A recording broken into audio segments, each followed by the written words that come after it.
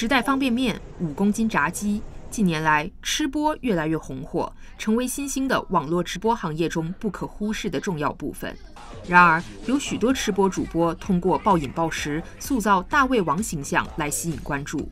八月十七日，北京世纪坛医院消化内科主任医师刘红对中新社记者表示：“虽然每个人的食量受胃动力影响有所不同，但一餐的分量一般不应超过一千毫升。胃它就是一个。”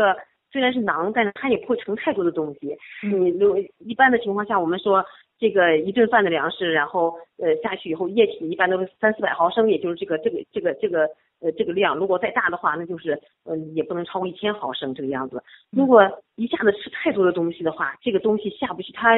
不能通过十二指肠有序的下下去的话，那就容易引起个急性胃扩张。刘红说，急性胃扩张最极端的情况下，可能会造成胃穿孔，危及生命。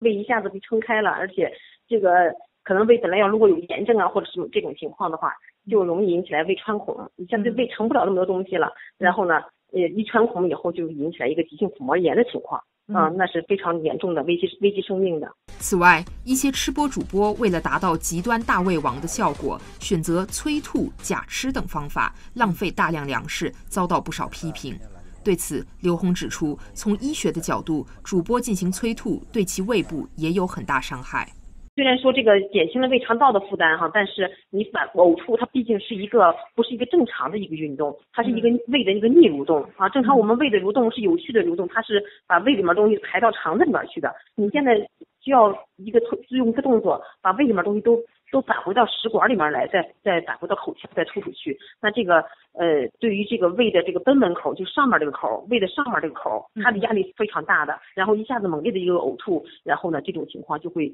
呃对这个黏膜呢造成损伤，严重的会引起来那贲门黏膜撕裂啊，会引起大出血啊，这种情况也是非常危险的。刘红强调，如果长期催吐，人的正常食欲也会受到影响。